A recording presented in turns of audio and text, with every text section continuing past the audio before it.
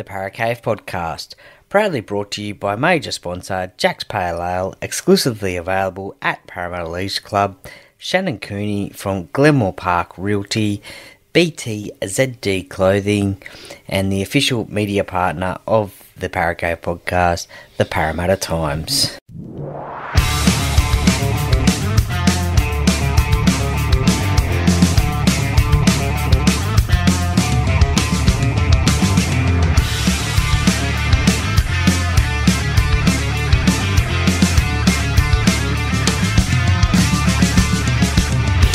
Welcome to another episode of the Parra Cave Podcast. And now over to your host, Troy Warner, broadcasting live from the world famous Parra Cave. And yes, hello and welcome back to another episode of the Parra Cave Podcast. Troy Warner here, and this is the game day review podcast of the Parramatta Eels and the South Sydney Rabbitohs game, which was won by the South Sydney Rabbitohs 32 points to 16 six tries to three, uh, six tries to three win to the Rabbitohs, played at CommBank Stadium in some fairly average conditions. Uh, at one stage, just after half time, it was absolutely pouring with rain. I think there was a little bit of rain during the first half as well, but nothing like that after half time. It eased, it eased off a little bit, uh, but was back again during that second half as well. So, some pretty tricky conditions playing in the wet. Uh, apparently, 13,000 at CommBank Stadium. Now, unfortunately, I didn't get to the game myself. Uh, I watched it at home, and it certainly did not look like 13,000 to me. Um, it was a lot of empty seats, I thought, anyway, but who knows? Who knows? There might have been uh, there might have been a lot of South Sydney support there last night. And look, uh, excuse me for that. Sorry about that. Uh, and uh, look, I've forgotten where I was up to now. Uh, look, it uh, did not look like a 13,000 crowd at the game, but I could have been wrong. There might have been a lot of South Sydney support there. Uh, if you were there at the game, let me know what the crowd looked like and the atmosphere was like anyway. But look, to the game, and early on it started off, look, both set both teams going set for set. Um, both completion rates were pretty good from both sides early on in that game. Uh, however, four minutes into the game, Parramatta got the first penalty, and then unfortunately, on the first tackle, Will Penisini dropped the ball. And look, I think Will had a, a night that he'd like to forget again, and unfortunately, I think that's two weeks in a row for Will. Um, Look, he's done little bits and pieces here pretty good, but I think two games that he would love to put into the back of his mind and just get rid of and uh, get ready for next week's game against the Gold Coast Titans because just the last two weeks it hasn't been the same Will Penisini that I think we have seen in previous games. South Sydney ended up getting the the ball in a good position, but then South lost the ball shortly afterwards. So a little bit of a let off there for Parramatta. Uh, and then one of the bizarrest, bizarre, most bizarre captain's challenge is I think we've ever seen. Um, Bryce Cartwright. It was a Bryce Cartwright offload, I think it was, and it was one of the ugliest and most bizarre captain's challenges I've ever seen. And I think even even the commentators were a bit perplexed as to this captain's challenge, and it took the bunker a while as well. Um, unfortunately, though, Parramatta lost that captain's challenge, and that was only about five or so minutes into the game, I think it was. So, um, pretty, I guess you could say, foolish losing a challenge five minutes into the game. You only use your captain's challenge if you're absolutely certain that you are going to win it. Uh, unfortunately, Parramatta did not win that one. Uh, look, South Sydney, they ended up getting the ball, and Latrell Mitchell, he was on the charge, but good cover defence from Gutho and Blaize Talagi as well, holding him out. Um, and then South Sydney's first try to Jacob Gagai. It was just a simple, scrum play. South had four on three. Just an easy pass to Gagai, who gets the first try uh, eight minutes into the game. So uh, a little bit concerning there, where South Sydney could have four players on one side and Parramatta only three. It was good vision from Cody Walker and Latrell Mitchell uh, to see that, I guess. And look, they just had the numbers, and it was an easy passage to the line from uh, uh, not Dane Gagai, uh, Jacob Gagai, uh, his brother. Um, Parramatta then had a chance through debutant Jake Tago, but he's denied by the defence. But they get Parramatta get a penalty from that from a high tackle, and they go again.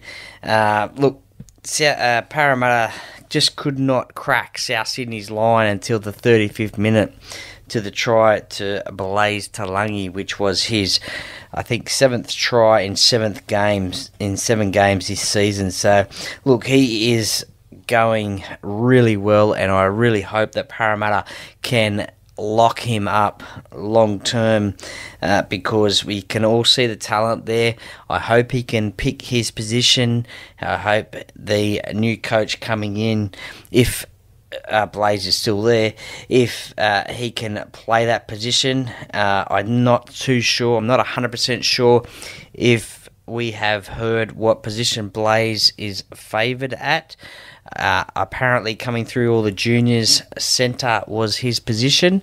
Um, but I'm not too sure if he would like to go to fullback at all or not. But um, that'll be have to be interesting to see what happens there. But seven tries in seven games.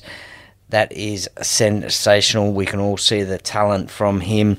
He is finishing off tries in those corners uh, very well. He has got that speed, which is what is lacking at Parramatta in the back line. Uh, but through him, it is good to see. Uh, and look, South Sydney's defence on their line was just too good. Parramatta had a few opportunities to try and crack that line but Parramatta just could not get over the line. Uh, South Sydney just kept on holding them up, holding them up. Look, within the first 50 minutes of the game, tackles in the opposition 20. Parramatta had 26 tackles in the opposition 20, and South only six. Um, but South went into the lead, uh, uh, went into half time in the lead, 16 points to four. A lot of their their tries to Jack Wighton was a, a long range try, which was a bit disappointing, that one to see.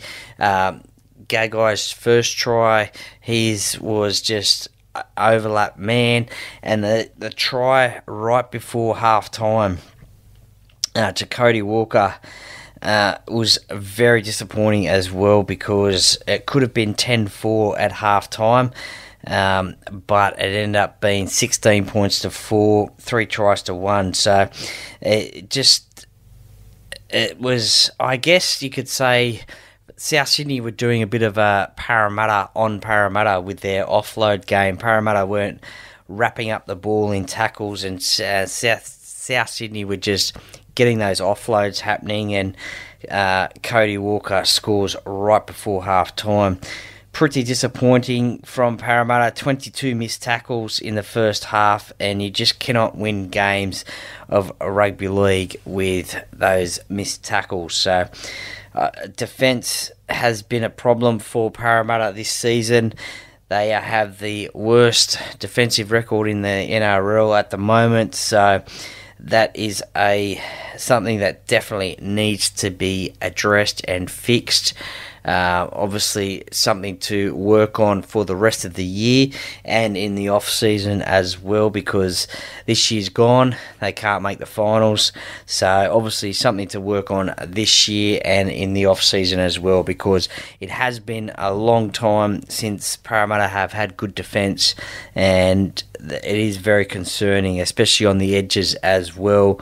Their edge defence is pretty um, you could say frustrating because tries get scored where we see the winger jamming in and just creating that overlap. So that is one concern that Parramatta will have to work on for sure.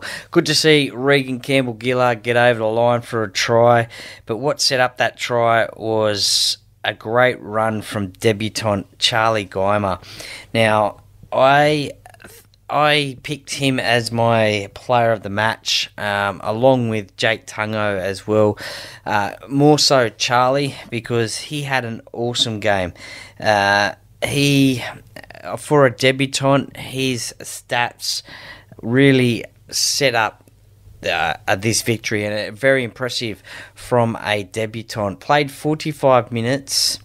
He actually ran 11 times for 109 metres. Now, if you compare that to uh, Bryce Cartwright, a second rower who played 80 minutes in the game, well, Bryce did score a try, but he did 11 hit ups for 96 metres. So, very impressive from Charlie Guymer. Sean Lane playing a different position uh, against South Sydney in the lock position. Is it his position? I probably don't think so. Uh, seven runs for 71 metres. Uh, so, uh, a magical, I guess you could say, despite the result, a great debut from Charlie Guymer. And with the news today coming out, uh, not officially yet by the time I re- I'm recording this podcast, but it is believed that Junior Paulo will be out for the rest of the season with a foot injury. So, pretty disappointing, I guess you could say, to see him out for the rest of the season, although he probably hasn't had the best of seasons and a season that he would probably like to forget as well. Again, this is probably a good opportunity for him to get his foot fixed and have surgery and get right, and then. Uh, have a good break, have a good off season, and then get into it in preseason and come back bigger and better in 2025. Uh, so that actually opens up the door for Charlie Guymer uh, to have junior spot, and it also opens up the door for another potential uh, front rower to come into this side for Parramatta. And it could also, that other spot uh, that now has opened up with Junior's foot injury could be a competition between Wiremu Greig and also under 19s New South Wales State of Origin representative Sam Tuivaiti. I hope I've pronounced that correctly, but he definitely uh, it's a good opportunity to blood Sam into first grade, I feel, um, because as I said before, I don't think Parramatta can make the finals in 2024, so why not give these youngsters a crack at playing first grade at, at this time? So, uh, Sam, he represented New South Wales in the under 19s, had a pretty solid game off the bench, and look, with this a junior Paulo injury, it's a good opportunity for him or Wiremu Greig to get some game time in first grade. Now, um, after after halftime, RCG scored that try, and then but then South Sydney hit straight back six minutes later through Latrell Mitchell, who scores his first try against Parramatta in eight games basically just sort of slid over the line uh, for a little bit out. Smart to use those conditions and get a try. Jacob Gagai scored his second try in the 68th minute. Uh, and before that, Jake Tago was unfortunately has a try denied for going out. Now it was very close, very close, I must say, but unfortunately his arm went in a touch. But it would have been great to see uh, Jake get a, a try on debut as we as we love to see debutants get a try on debut. And look, I suppose in the context of the game, there was probably no real celebrations going on, but uh, I hope the rest of the NRL teams are focused on uh, dry July try celebrations. Um, so let's uh, get those. Let's get that. Not not dry July. Uh, try Try July. Um, I'm thinking of the no drinking alcohol dry July, which some people are doing. So if you know of anybody who is participating in that, then please give them your support as best you can. Uh, try July. Uh, now, we'd love to see some try celebrations come through in the NRL. They are a great source of entertainment. So, okay, players in the NRL, let's get it happening. Uh, but unfortunately, we didn't see any there last night. Uh, Mitchell Moses, he got sin bin late in the game, 75th minute. Can somebody please tell me what it was for? I guess it was a little bit of an act of frustration. That's why he got that sin bin, but it didn't. I, I don't know. It didn't really look like the greatest of sin binning actions, but uh, he got the early shower. He got into the change rooms first and could have that hot shower before the rest of the boys got in. Uh, look, 32 points to 16. As I said, a very disappointing result once again, especially at home. South Sydney have been a little bit of a bogey side over the years for Parramatta of recent, and uh, that trend still continues. It is South Sydney's fifth win in a row. Uh, Parramatta slipped to their fourth loss in a row, and also at the time of the game go back down to the bottom of the ladder in 17th position with the storm to play the tigers coming up as well so that game is on saturday 5:30 p.m. so there's only a little bit of difference between the two sides there's a six points for and against difference. So, um, who knows what can happen in that game? I would definitely probably think that Parramatta would will go to 16th spot on the ladder, last equal last with the Tigers after that game. But hey, you never know. The Tigers might be able to pull out a win at Leichhardt Oval, their spiritual home against the Melbourne Storm. So that will mean that Parramatta's just dead set last again uh, by themselves.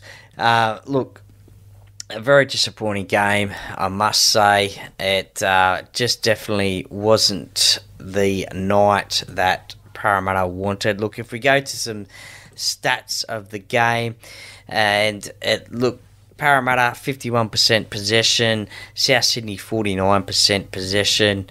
Uh, so Parramatta had a little bit more a little bit more ball. Uh, 41 well, uh, completion rate 75%, South Sydney 77%. And looking just through the um, figures here, the stats here about the attack, and Parramatta about a hundred more meet run meters than South Sydney. Um, line breaks 7 to 5 to South. Tackle breaks 43 to 22. Uh, look, the kicking was a little bit down from Parramatta, 501 metres, South Sydney 677. Although the pleasing thing for Parramatta, I guess, was three forced dropouts, which is pretty good. Um, even amount of tackles made by each side, but the concerning stat overall, as I mentioned those missed tackles before, 43 missed tackles in the whole game to Parramatta and 22 to South Sydney. So that was a pretty concerning thing there. Four ruck infringements to Parramatta, South Sydney only one. And look, uh, that's been in the news as well of late with some greats. Cameron Smith, I think, calling for the uh, get rid of the six agains, as we don't know what they are. Uh, both sides used seven interchanges in the game. Uh, now to the player stats, and look, it's uh, pretty concerning, I think, um, for Parramatta. Uh, Dylan Brown, I thought was quiet in the game. He just did a, a he did what he had to do, but he didn't do anything outstanding. I thought 14 runs for 139 metres. Uh, Blaize Talagi, look, he's just getting better and better in every game. 14 runs, 131 metres. Uh, scored that try as well. Sean Russell was a little bit disappointing as well. One point in the game there, South Sydney had a uh, Parramatta forced to forced a, a goal line dropout. South Sydney have dropped it out, and Sean Russell was inside the 10 metres. So, look, that is really disappointing to see.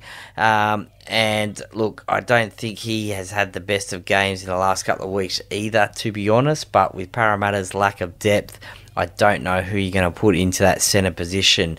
So if you have an op- if you have a suggestion, let me know who you would put in that centre position. Uh, but I guess he will get named next week because of that that I guess lack of depth. Uh, Mitchell Moses, 12 runs, 76 metres. Uh, Reagan Campbell Gillard, 11 107. Brendan Hands, only the one run last night for 10 metres. Um, Sean Lane, seven, seven runs, 71 metres. Matt Arthur, he had a, a quiet game. He only got 18 minutes on the field, so can't blame him for that too much. Although I do like the service from dummy half from uh, him when he was on. Uh, his passes look pretty crisp and not too bad. So something I think we have lacked in that hooker position for a while now. Matt Doorey, his second game back in first grade, had a pretty solid game, I thought, um, for the time that he spent in the game 31 minutes. Uh, but as I said before, that Charlie Guymer 45 minutes, outstanding effort, 11 runs, 109 metres, also 26 tackles as well. So uh, he did that over two stints, 35 minutes and then 10 minutes towards the end there. So, look, um, a fairly disappointing effort again from Parramatta. I don't know how this is going to change. I don't know whether there's infighting between the players. Uh, we did hear the big spray that Mitchell Moses did in the sheds up in Newcastle. Uh, is there a bit of infighting between the players? What is going on? There's no communication, I don't think, out in the field. Um, and they are sitting with only four wins for the season and sit in last position on the ladder. It is a very frustrating, disappointing season for Parramatta fans that is for sure. Look, the, the less spoken about that game, I guess, the better. Um, as we look to next week, and the Rabbitohs, they play the Dolphins at Redcliffe, Kayo Stadium in Redcliffe on Thursday night. So, Wayne Bennett's team taking on Wayne Bennett's future team in 2025. This will be quite interesting uh, how this result goes. I think Origin players will be out of these games.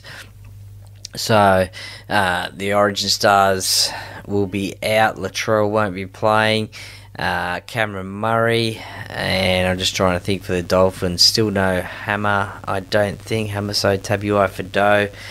Uh, maybe no Felise Kaufusi as well.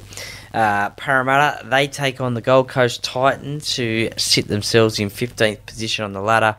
5:30 p.m. Saturday, July 13, up there at Cbus Super Stadium on the Gold Coast. So we saw what they did against the Warriors a few weeks ago. Now, 66 points to six and uh, it's worrying times for Parramatta. Mitchell Moses, he'll be out of this side. He'll be in the New South Wales side for Game Three of Origin. So take the best player out of Parramatta, uh, which is Mitchell Moses, and look, this could be anything. Who goes to halfback? What do we do? Um, does DJ Narsi come back in to uh, halfback? Dylan Brown stays at five eight. Does Dylan Brown go back to halfback? Um, what do we do? What does Parramatta do? We'll just have to wait and see on team list Tuesday.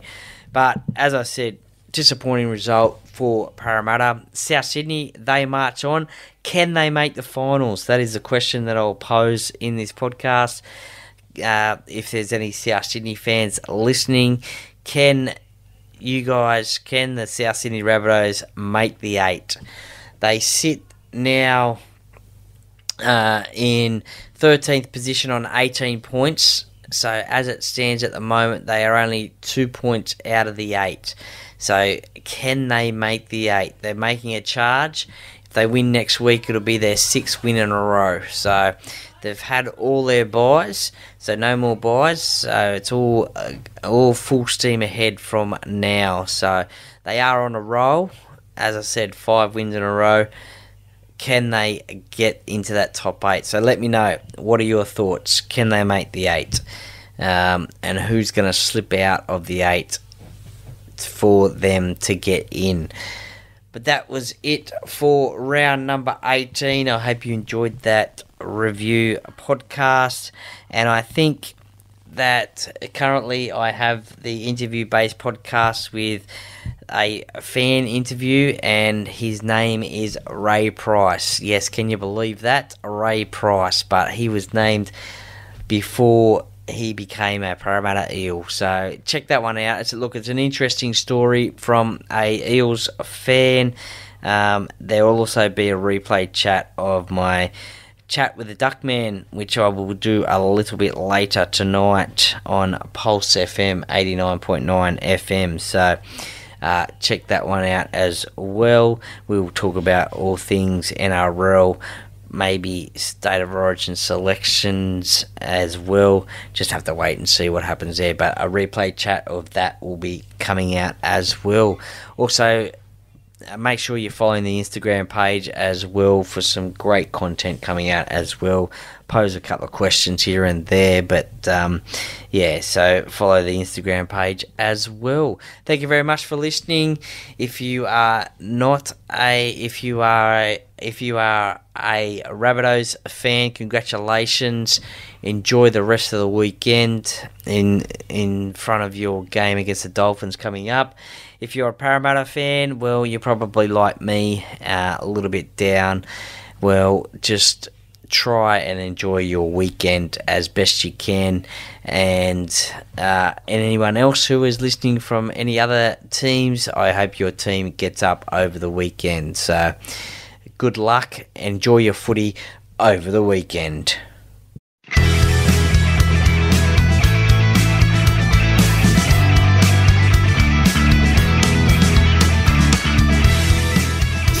For listening to another episode of the Parra Cave Podcast. See you next time.